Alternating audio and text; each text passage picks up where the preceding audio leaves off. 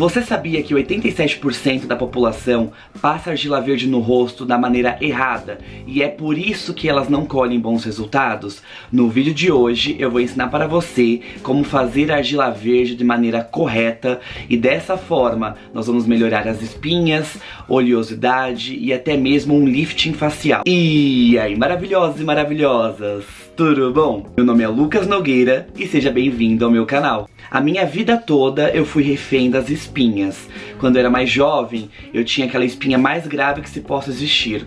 Na minha época era chamada de espinha do quarto grau, quando era uma espinha que inflamava aos poucos até se tornar um cisto. E esse cisto muitas vezes era retirado com um corte e espremendo. Sabe aqueles vídeos famosos que a gente encontra na internet? Era exatamente como era meu rosto. Se você quiser saber um pouquinho mais da minha história com as espinhas, tem vídeo aqui no canal. É só você clicar aí no canal e dar uma olhadinha nas espinhas. Mas espinhas não, gente.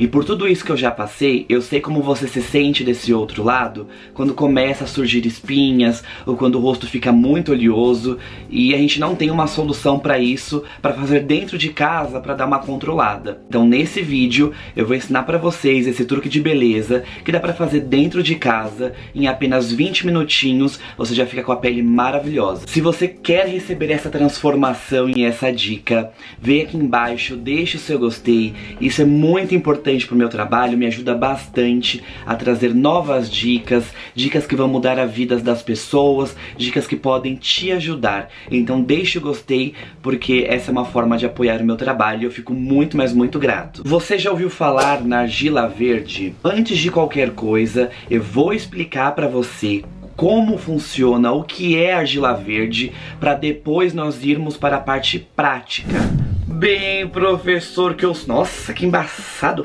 Tem mais pó do que tudo. Eu ia pôr aqui o óculos, né, pra fazer um charme, já que eu vou explicar o que é argila verde, só que tava imundo. Pronto, bem professor que sou, bora pra explicação. Tá torto. argila verde é um componente de origem mineral. Mineral?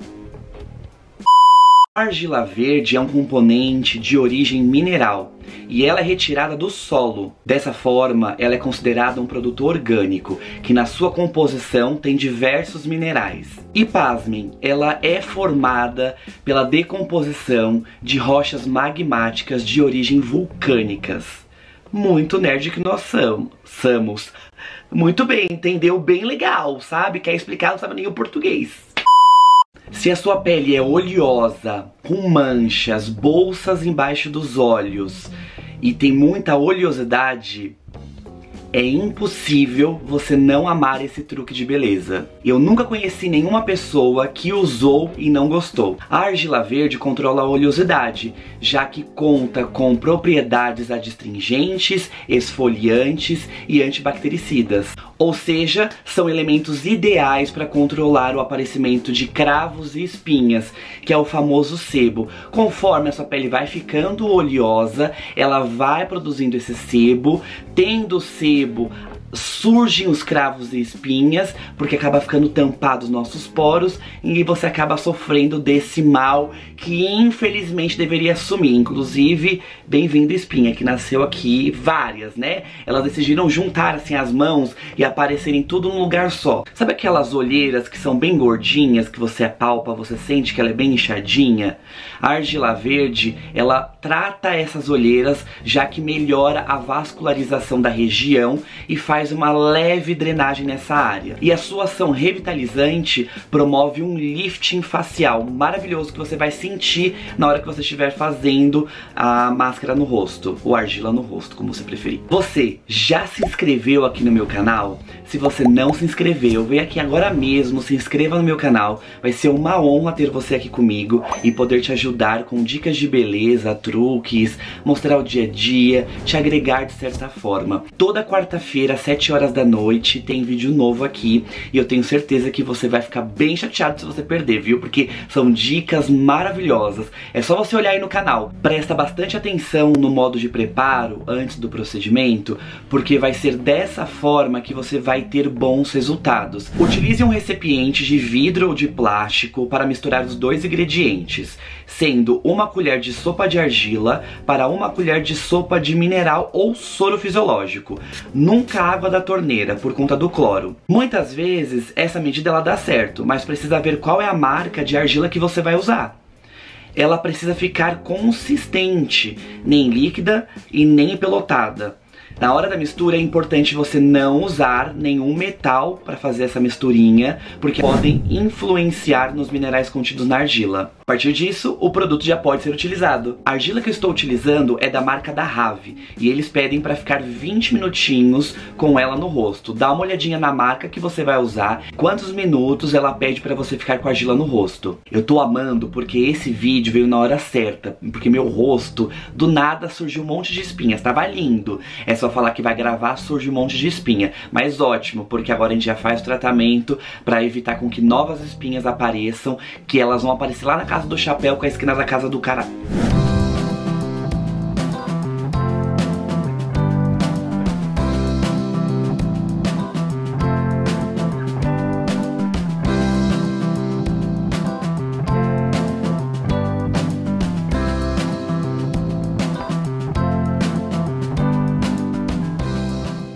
Agora eu vou colocar um cronômetro pra gente saber quanto tempo leva pra máscara começar a secar. Porque é nesse processo que você não pode deixar a máscara secar. Porque quando a máscara seca, ela deixa de entregar as propriedades que ela tem. Quando a gente umedece ela, ela continua fazendo efeito na nossa pele. Então é por isso que a gente não pode deixar secar. Ó, vou dar o play agora.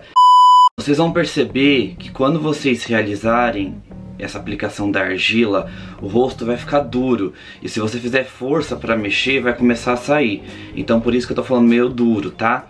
Agora, deixa eu ver quantos minutinhos já deu. Só pra gente ver quanto tempo levou a minha máscara para começar a ficar seca, tá vendo? Ó, isso é seco, ó nariz aqui, ó. Sete minutinhos, já começou a secar minha máscara. E aí eu vou vir com uma água termal passando no rosto, para não deixar secar. Vem aqui de longe, ó. Conseguem ver que ela voltou a ficar úmida? É esse o ponto da argila verde para a gente ter um resultado maravilhoso na pele. A gente continua, desde esse tempo aqui que eu mostrei para vocês de 7 minutinhos, vai continuar normalmente e a gente tira quando der 20 minutinhos. Agora eu vou compartilhar com vocês um segredo muito, mas muito importante para a gente ter um plus ainda mais na argila verde. E só pode realizar uma vez na semana, não faz mais de uma vez porque é bem agressivo. Quando secar desse jeito, quando a gente for retirar, ao invés de jogar a água só para retirar, nós vamos com movimentos circulares em todo o rosto. Dessa forma, nós estamos realizando uma esfoliação na pele. Caso você faça três vezes aí por semana a máscara de argila verde, não faça essa esfoliação mais de uma vez, tá bom? Agora vou retirar e já volto. Voltei. Reparem na minha pele, a minha pele é extremamente sensível, eu tenho rosácea e muita sensibilidade na pele. Por conta da esfoliação, a minha pele ficou vermelha, não sei se dá pra ver desse outro lado, mas ela tá bem vermelhinha. Por isso que eu falei pra vocês, é legal fazer essa esfoliação só uma vez na semana. Por mais que a sua pele não seja sensível, por mais que a sua pele não fique vermelha com facilidade, é bom evitar, senão você pode acabar machucando a pele. Faça ali três vezes na semana a argila verde, porém uma vez só você esfolia. Eu queria muito saber se também é notório desse outro lado que a pele deu uma clareada. Não sei se consegue reparar desse outro lado, mas ele dá uma leve clareada na pele e eu sinto a minha pele dando uma repuxada assim. Sabe aquele lifting que eu falei pra vocês? Ele dá uma puxada bem de leve e tá super macia, super gostosa. E isso é só vocês fazendo desse outro lado para vocês sentirem na própria pele que gostoso e que resultado maravilhoso. Você percebeu que esse truque não levou mais que 20 minutos? Então para tudo que você está fazendo e vai se cuidar. Chega de cuidar dos outros e deixar você em segundo plano. A sua pele, você merece esse cuidado especial e você vai amar essa sensação de uma pele bem cuidada. Meu nome é Lucas Nogueira e é um prazer enorme ter você aqui comigo. Deixa seu gostei aqui nesse vídeo se eu conseguir te ajudar. Se inscreva no meu canal porque toda quarta-feira às 7 horas da noite nós temos outra dica de beleza e até o próximo vídeo. Tchau!